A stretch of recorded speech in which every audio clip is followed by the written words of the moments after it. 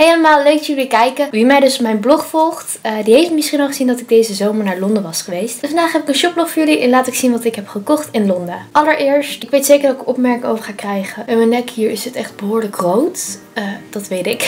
Ik heb volgens mij dus een allergie opgelopen of zo. Parfum gespoten en ik denk dat het daardoor komt. Voordat jullie vragen van ja, wat is gebeurd, wat is gebeurd dat is er gebeurd. Ik hoop dus dat het wegtrekt. Ik heb het nu echt al sinds Londen gekregen. Doet geen pijn meer, maar uh, ja, het ziet er een beetje lelijk uit. En ik hoop maar dat het geen litteken wordt. In het begin deed het heel erg pijn, maar nu doet het geen pijn meer. Dat vind ik het belangrijkste. Maar oké, ik ga nu beginnen met de kleren, want ik dwal helemaal af. Ik begin met de Topshop. En Topshop is mijn favoriete winkel. Echt van alle winkels die er uh, bestaan, zeg maar. En elke keer als ik er ben, dan ik weet niet, ik word er heel erg blij van.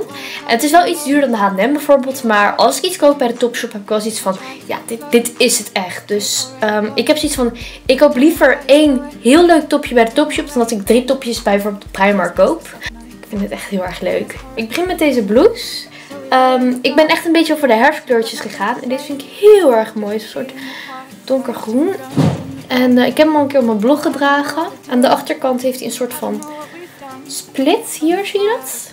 De prijs weet ik niet uit mijn hoofd. Ik zal die wel onder de video neerzetten in de beschrijving. En ook als ze nog online te vinden zijn, zal ik het linkje voor jullie plaatsen. Zodat als je het zelf even wilt kijken, dat je dat kan doen. Ik hoop dat jullie dat makkelijk vinden. Bij de Topshop had ik ook dit mint topje gekocht. Dus mint dan en dan, kijk, die onderkant. Met dat patroontje. Ik vind dat echt een heel leuk patroontje. Hij is best wel simpel. Ik droeg deze ook in de What Would Jamie Wear video. Maar ik vind hem heel leuk. En dan kun je met superveel combineren. Dus ik ben daar heel erg blij mee. Oh, oh deze mag ik niet vergeten. Deze, ook bij de Topshop. Die zijn echt... Oh, ik vind ze echt heel vet. Ik draag ze... Oh, hij is hier een beetje vies. Haha. Ja, die moet ik even schoonmaken zo meteen. Ze hebben een best hoog plateau. En ik zag ook in Londen heel veel meisjes met dit soort schoenen lopen. En in Nederland zie je echt bijna niemand, heb ik het idee. Maar ik vind ze zo vet. Is dat nou de telefoon? Oh nee, ik verbeeld het me. Dit is dan van stof. Ze hadden ook met zwerren volgens mij. Maar ik vond dit wel het mooiste. En ze lopen ook super lekker vind ik. Door het plateau. Ja, ik vind ze heel tof.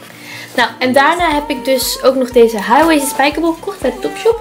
En het prijskaartje zit hier nog aan. En dat heeft een reden. Nou, ik ben altijd heel moeilijk geweest met het zoeken van een goede spijkerbroek. Ik ben best klein, heb niet heel lange benen. En ik wil een high-waisted spijkerbroek. En geloof me, op de een of andere manier is die combinatie te veel gevraagd of zo. Ik wist dat ze bij de Topshop echt hele lekkere spijkerbroeken hadden. Die gewoon zo lekker zitten en high-waisted zijn. Dus ik heb echt super lang gewacht tot ik naar Londen ging om de spijkerbroeken zelf te passen. Opzij, want normaal vind ik 20 euro voor spijkerbroek voldoende. En deze zijn dan... Volgens mij zijn deze 50 euro of zo. Nee, iets minder. Iets minder. Maar ik vind het nog steeds voor spijkerbroek best wel veel. Ik kocht deze in Londen. Zo'n zwarte high-waisted skinny. Maar op de een of andere manier is hij op de terugreis verloren geraken. Echt, ik baal als een stekker. Ik zat hier thuis. Ik heb echt alles overhoop gehaald van die spijkerbroek. Ik zat echt van, nee. Mijn favoriete spijkerbroek. Ik was zo blij. En ik liep ook echt de Londen. Toen ik hem had gekocht en dacht van, hmm, zou ik er nog geen kopen? Want hij is zo fijn. Dan kan ik gewoon wat langer vooruit. Ik denk dat ik een nieuwe bestel. Want voor de rest, ik koop toch binnenkort, komende maanden, geen spijkerbroeken meer. Want dit zijn echte spijkerbroeken waar ik het aan hou, zeg maar. En online bleek ze zelfs goedkoper te zijn. Dus ik heb deze zwarte besteld. Die is net binnengekomen. Uh, hoe is het? Deze zitten zo lekker. Echt love. En um, ook deze kleur. Het is een beetje donkerpaars.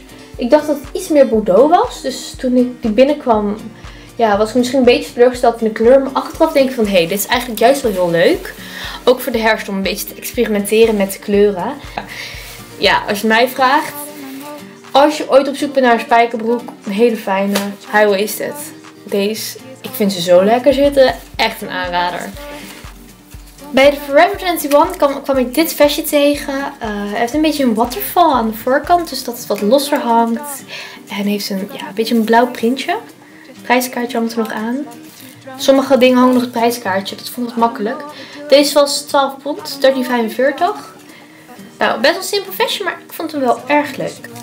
Bij de Mango, hier hangt ook het prijskaartje nog aan, want ik dacht dat is misschien wel makkelijk voor een voor de prijs. Bij de Mango kocht ik voor uh, eh, 20 pond dit zwarte rokje. En misschien denk je nu van, Jamie, waarom betaal je 20 pond voor een simpel rokje? Hij lijkt simpel, is hij niet. Heeft een soort van detail. Dat het zeg maar... Ja, de stof zit heel apart. Nou, ik vond het wel een beetje chic staan. En volgens mij is het ook van chiffon of zo. Een soort chiffonstof. Nou, ik vind het zelf heel erg mooi. Wat betreft budget shopping. Nou, dit jurkje. Oh, ik moet hem even goed doen. Dit jurkje. Zo zit hij. Ja, zo zit hij. Dit jurkje in het mint.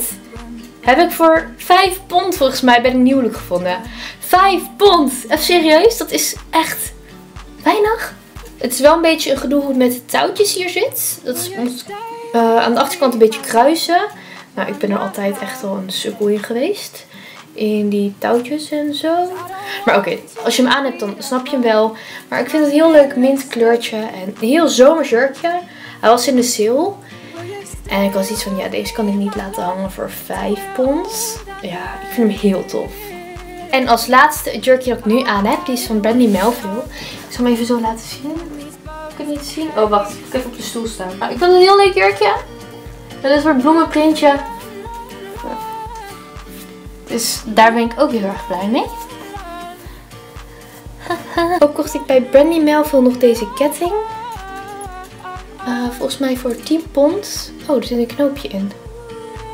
Moet ik even uithalen. Oh god, ik word er helemaal panisch van. Daarnaast nog deze ring van de Forever 21 met een blauw steentje erin. Vind ik ook heel tof. Qua make-up had ik natuurlijk nog de Collection Concealer meegenomen. Ik heb er twee meegenomen, want ik had zoiets van... Deze zijn zo fijn. Dit zijn de allerbeste concealers ever als je het mij vraagt.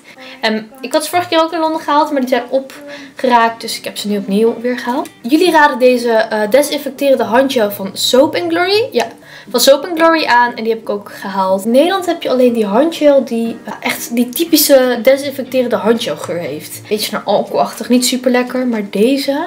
Oh, super lekker. Een beetje zoet zeg maar. Ja, echt... Oh, Heel lekker. Echt een aanrader. Daarna heb ik nog een bronzer gehaald bij Sleek. Die vond ik heel erg tof. Zo ziet hij eruit aan de binnenkant. Ik heb er al een review op mijn blog over geschreven. Dus als je dat wilt lezen, linkje in de beschrijving. En als laatste, ik weet niet of dit erbij hoort. Ik weet niet of jullie het leuk vinden als ik dit soort dingen in een shoplog laat zien. Een boek nou, laat me weten of je het leuk vindt als ik boeken en zo in shoplogs laat zien. Uh, dit is het boek The Shock of the Fall. Ik wil eigenlijk dit jaar meer gaan lezen. Ik had als laatste Fall of Stars gelezen. In Londen had ik die uitgelezen. Ik weet niet, ben ik de enige die niet moest huilen bij het boek? Even, even... Nee, wacht, wil ik heel even op ingaan hoor. Want ik las dus het boek en ik zat te denken van... Wanneer ga ik huilen, wanneer ga ik huilen, wanneer ga ik huilen? Toen waren ze dus in Amsterdam op het bankje. En toen dacht ik van, huh? Is dit die Amsterdam scène? Ik weet niet. Misschien viel het een beetje tegen bij mij. Nou, de film moet ik in ieder geval nog zien. Misschien dat ik daarbij ga huilen. Maar... Ik, weet het niet. Misschien... Ik moest helemaal niet huilen bij het boek. Ik vond het een heel mooi boek hoor. Daar niet van. Ik vond het echt heel mooi. Maar... Ja, ik weet het niet. Ik moet wel eerlijk toegeven dat ik toch het idee heb dat ik laatste tijd winkelen wat moeilijker vind worden. Misschien heb ik ook het geduld minder hoor. Ik had het idee dat ik vroeger zou het echt allemaal binnen één dag kunnen kopen. Maar nu moest ik echt al veel dagen langs en ik wilde nog wel iets leuks vinden. Maar ik vond dat moeilijker. Ik weet niet, hebben jullie dat ook? Misschien ligt het aan mij hoor, dat kan natuurlijk ook. Ja, by the way, ik hoop dat jullie de video leuk vonden. Vergeet geen duimpje omhoog te doen. En dan zie ik je volgende week weer. Bedankt voor het kijken. Doei! Make it sharp. Oké. oh my god, het licht. Ik word helemaal panisch. Dan is het weer donker, dan is het weer licht.